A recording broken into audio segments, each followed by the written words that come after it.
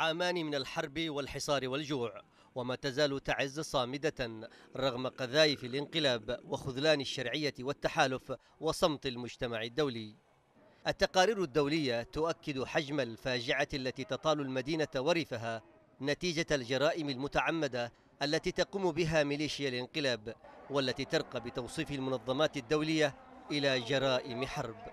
وفي انتهاك متعمد لقوانين الحرب شنت ميليشيا الانقلاب هجمات مدفعية وعشوائية ومتكررة على أحياء سكنية في تعز حسب تقرير حديث أصدرته منظمة هيومن رايتس ووتش.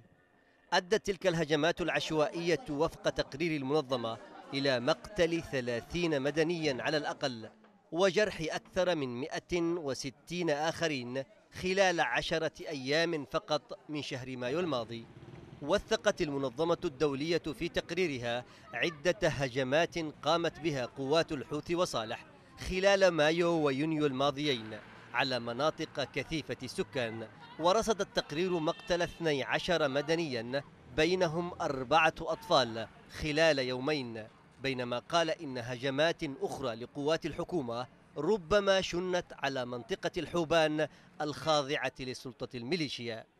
يشير التقرير الدولي إلى الكارثة التي حلت بحي الضبوعة في مدينة تعز حيث قتل في يوم واحد من شهر مايو خمسة مدنيين على الأقل بينهم طفل.